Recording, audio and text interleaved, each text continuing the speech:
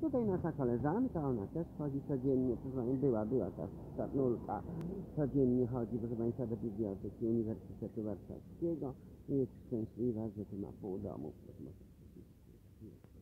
5-6 godzin przy tym komputerze, 4000 filmów wrzucę, proszę Państwa.